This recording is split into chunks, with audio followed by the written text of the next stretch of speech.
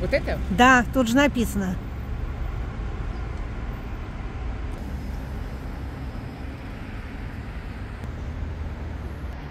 Археологический музей раскопки в Тбилиси.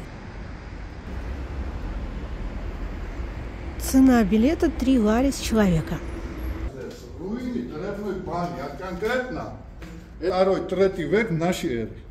Не, вообще, شوی نمیسا خداشی کلامیتون